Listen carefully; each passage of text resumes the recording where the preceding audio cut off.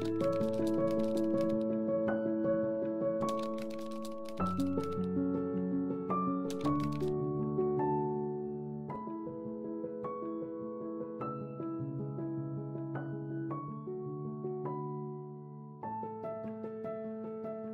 I'm Dr. Mark Tyson, a urologist at Mayo Clinic. In this video, we'll cover the basics of bladder cancer. What is it? Who gets it? The symptoms, diagnosis, and treatment. Whether you're looking for answers for yourself or someone you love, we're here to give you the best information available. Bladder cancer is almost always one certain type of cancer called urothelial carcinoma because it starts when urothelial cells that line the inside of the bladder overmultiply and become abnormal. Most bladder cancer is caught in the early stages and therefore very treatable.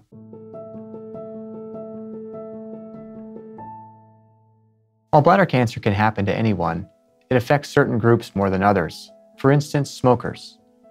As the bladder works to filter the harmful chemicals ingested in cigarette smoke, it becomes damaged. In fact, smokers are three times more likely to get bladder cancer. People over the age of 55 are more at risk, as are men more than women. Exposure to harmful chemicals either at home or at work, previous cancer treatments, chronic bladder inflammation, or a family history of bladder cancer can also play a role.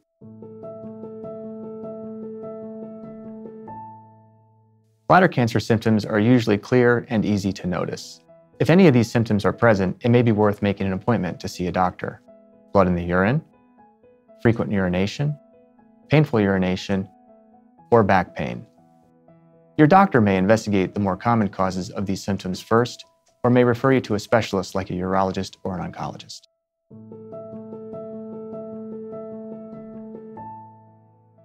To determine if you have bladder cancer, your doctor may start with a cystoscopy where a tiny camera is passed through the urethra to see into the bladder. If your doctor finds something suspicious, they can take a biopsy or a cell sample that is sent to a lab for analysis.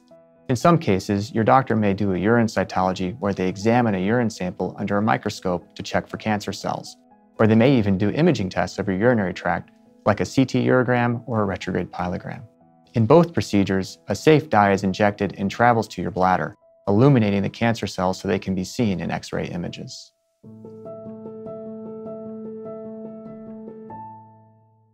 When creating a treatment plan for bladder cancer, your doctor is considering several factors, including the type and stage of cancer and your treatment preferences.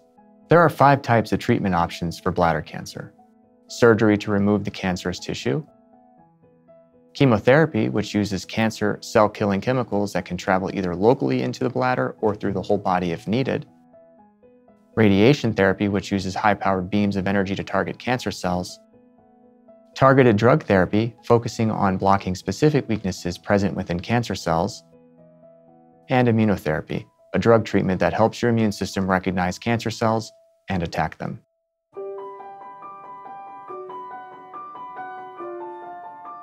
Getting a cancer diagnosis or worrying that cancer will return can be very stressful. However, there are ways to feel more in control and deal with less stress. Stay on top of your follow-up tests and appointments.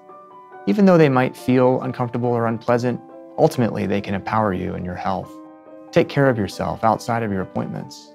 Be good to your body with plenty of fruits and vegetables, whole grains, consistent exercise, and the ever important sleep. Be good to your mind. Try different methods to cope with stress like journaling or meditation. Maybe find a support group of cancer survivors who understand how you're feeling. If you'd like to learn even more about bladder cancer, watch our other related videos or visit mayoclinic.org. We wish you well.